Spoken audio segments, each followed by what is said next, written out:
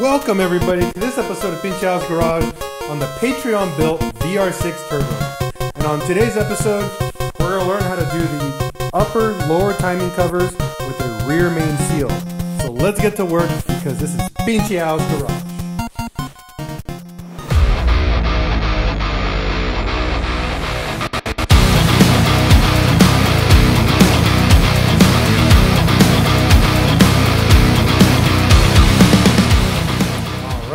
So first things first, as always, we make sure we have a clean surface. Everything on the VR6 has to be clean here because this is a mating surface that has oil on the inside. And since oil goes through here, we have to make sure oil doesn't go through anywhere else besides back into the oil pan and not into the ground or just around your engine. So if you got this engine taken care of at the machine shop, you should have a beautiful smooth uh, mating surface here and all around your lower uh, portion of your engine. If so, then we are good to go for the next step. So for your next step, is making sure your timing covers are clean and ready for pretty much mounting. And what I mean by that is that the metal surfaces here are free of any paint or debris or um, just uneven metal or just RTV stuck all over. Same goes for this side right here. Make sure this area is clean and here and obviously where the uh, tensioner here is for the upper tensioner. Next step also is making sure this surface is clean of any debris. I did paint the timing covers the way I wanted to, so they came out pretty gnarly. I'm pretty happy with my results of my paint work. It's pretty cool. Um, so this timing cover is our upper one because this is where the valve cover mounts right here. This guy mates here, and you gotta re remember um, the little tensioner, hydraulic tensioner uh, bolt here that goes on here has to be flush before installing it. If not, you're gonna have a lot of problems pushing this in. And this guy's gonna go in kind of like this, just like that, okay? So when doing this, you can RTV here, here, and here. That's it. Very minimal RTV is required around these. Now, you are going to need to make sure you have a decent amount of RTV in these corners. Corners is where they leak. So make sure you have a, not a ton, but a good amount of RTV on these little edges right here. Because when we mate this to the to here, we want to make sure everything, you know, does a good job in sealing. Okay? Now you can do the timing cover one cover at a time because they're not uh, needed to be mated um, at the same time. However, okay, I would recommend doing the top first, then working to the bottom, and then we're gonna do the rear main seal last. Okay guys, so we're ready. You'll see here it's super thin coat of RTV. Nothing down here. I put it on the actual gasket itself because it's going to sit on that and it's going to put pressure on it when we get to that point.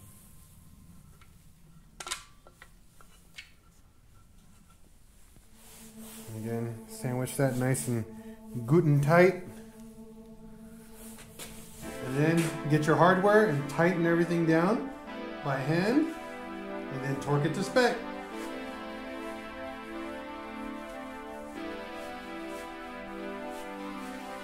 It's okay if you let the RTV kind of like um, cure slowly. It doesn't damage anything.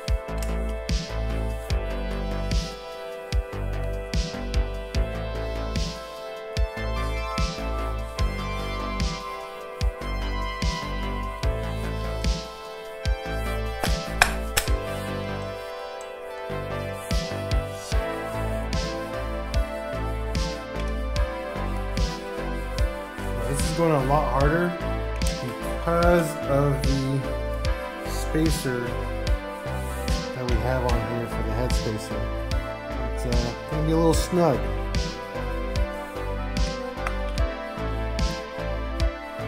Now make sure you tighten everything down again by hand.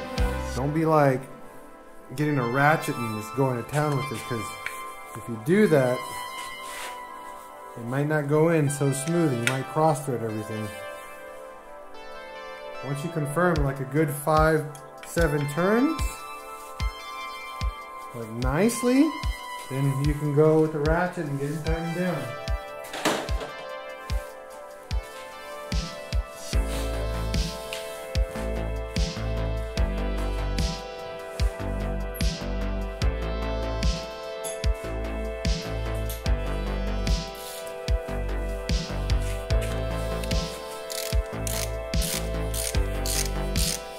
I just explained, they're gonna go on snug because of the head spacer.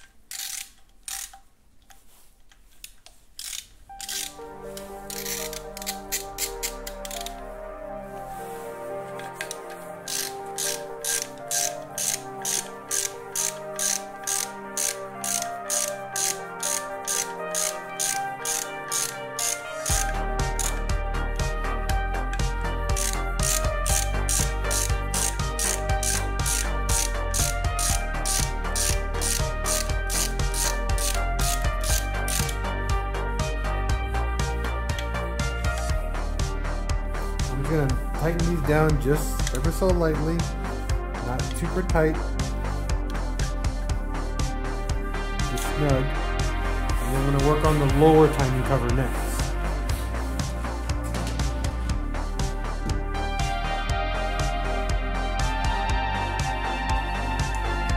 This lower timing cover, just so you guys know, we're only gonna RTV what's on the inside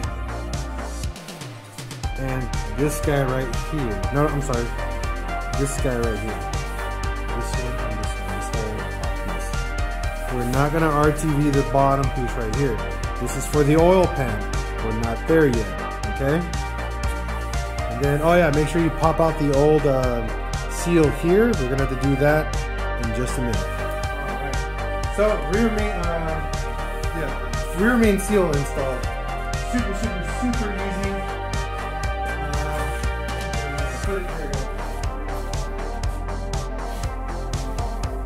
Have to install the rear main seal first, and then we have to tap it all into place. So they give you a cool little tool for the install of the rear main seal and then the actual rear main seal. So first things first, get a little 2x2, put it under, on, on underneath the um, timing cover, put your seal right here on top. Do the best you can to do it by hand first.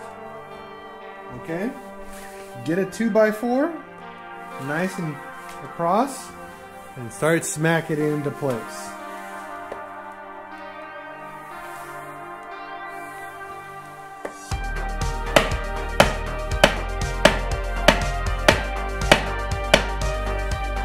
Checking obviously side to side if it doesn't go all the way down certain sides.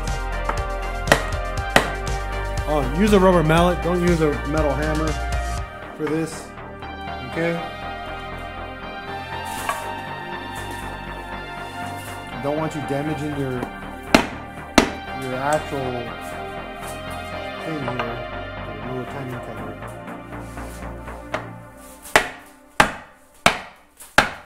And you'll hear it bottoming out, so that's how you know you're at the bottom almost.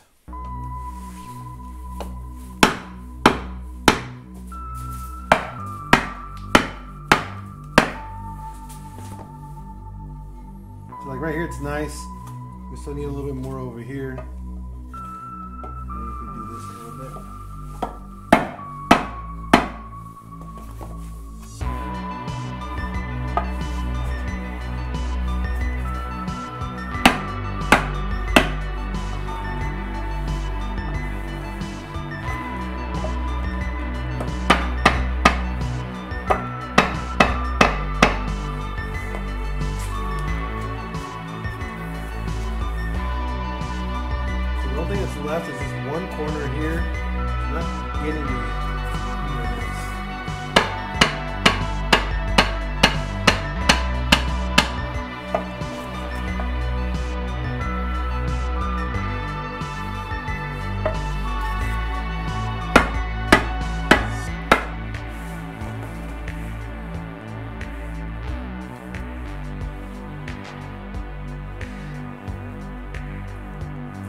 We go.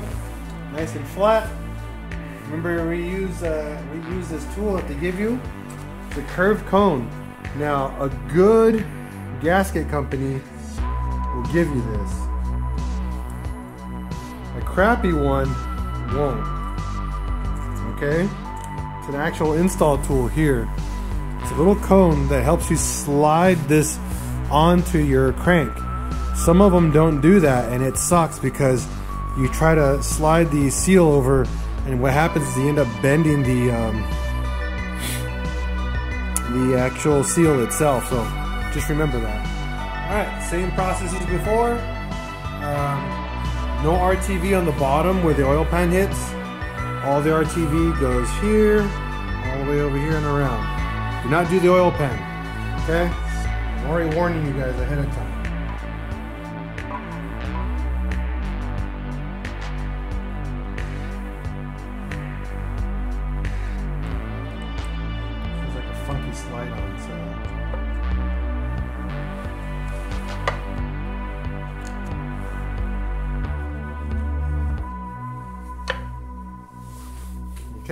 This is where the precision kicks in now.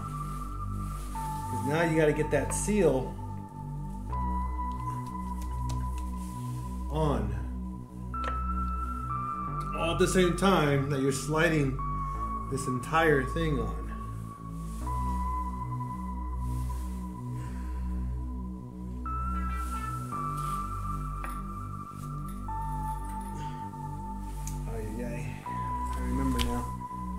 Pan off really quick. Woo. Come on, come on, come on. Gotta hurry, gotta hurry. Got RTV drying.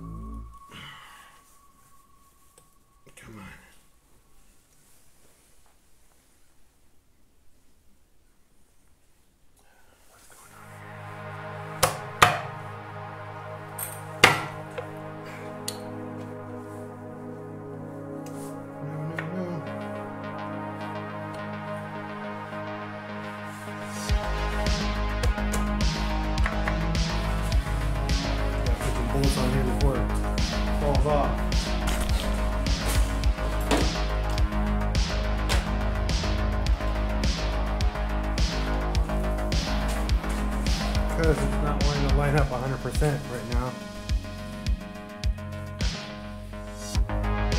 close enough to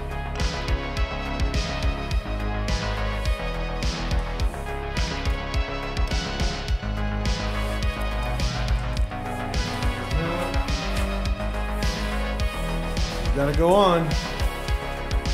Now this is gonna suck.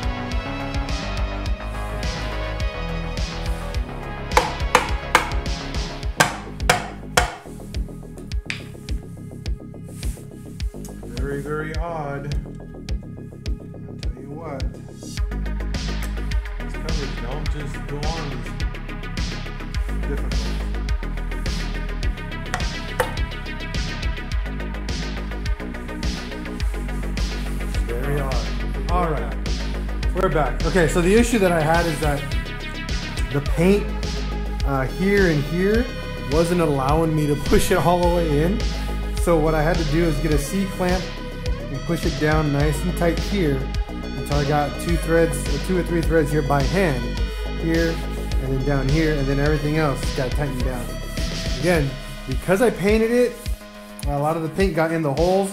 So like these uh, these spots right here, right here, this one, down here where they have the, the set screws, or the set points, if there's too much paint inside of it, it's gonna make it really difficult to slide on, okay? Once you do that, again, everything goes in by hand.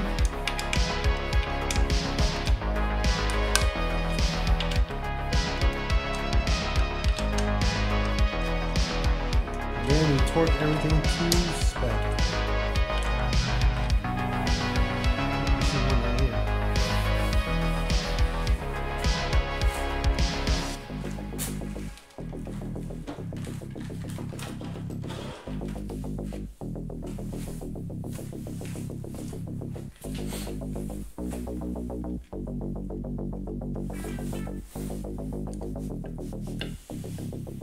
Have two underneath, just as a heads up. There's two that go right down here.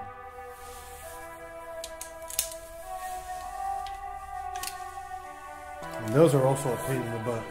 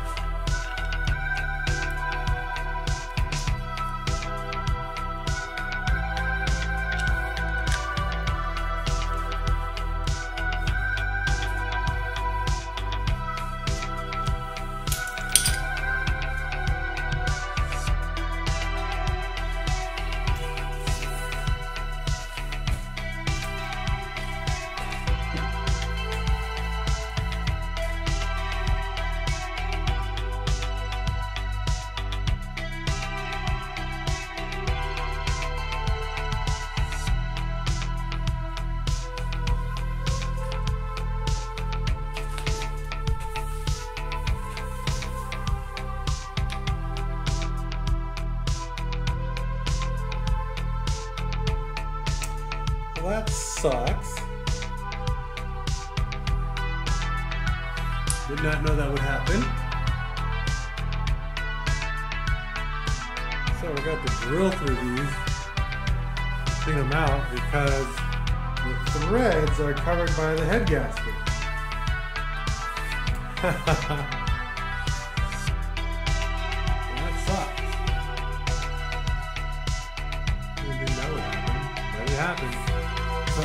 two holes here, the head gasket is blocking it.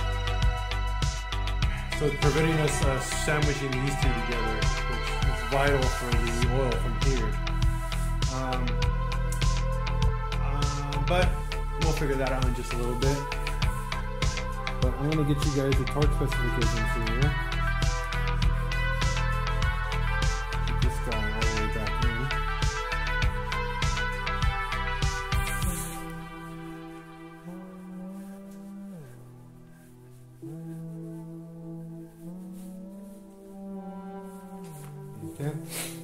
Guy has a torque spec, just so you guys know.